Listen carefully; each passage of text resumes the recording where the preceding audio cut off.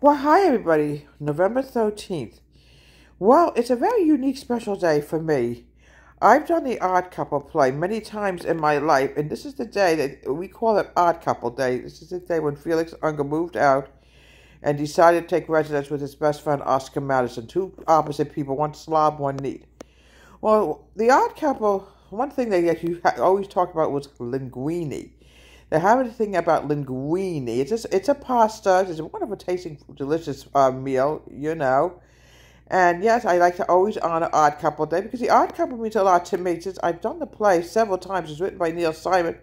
I actually did experimental theater. I played Oscar Madison back in 73 or 74. I don't remember the exact year. And then I was Gwendolyn Pigeon quite a lot. So yes, it was a lot of fun for me to do the Odd Couple. And this is definitely uh, Odd Couple Day today all you theater people out there. And yes, one of the specialty was linguine. I'm trying to remember when else. One time Felix entered a cooking contest on the TV show. I still remember this. He made some kind of roast, and it was a long time ago. He, he, he liked to make roasts as well, roast beef. You know, okay, he was a gourmet chef, as you know, as Felix Ungar. Yes, today is definitely Odd Couple Day. From WH Home Country Kitchen, have a great day.